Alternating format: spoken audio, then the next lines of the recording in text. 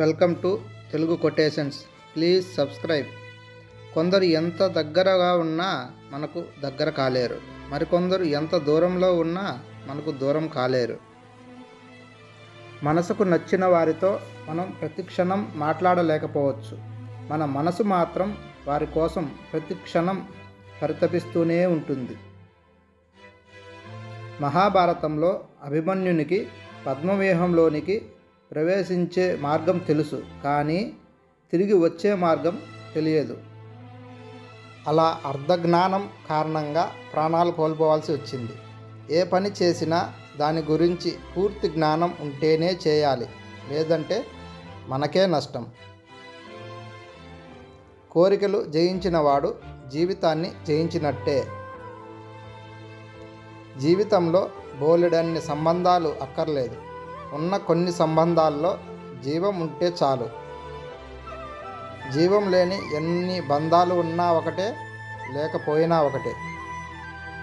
ఒక వ్యక్తి గురించి కథలు వినాలంటే పక్క వారితో మాట్లాడండి. అదే నిజాలు వినాలంటే అతనితోనే మాట్లాడండి. సంపదలు ఎన్ని ఉన్నా తృప్తి లేని జీవితం వ్యర్థం. పూరి గుడిసె బ్రతుకైనా కంటి నిండా నిద్రపోయే మనిషి జీవితం ధన్యం.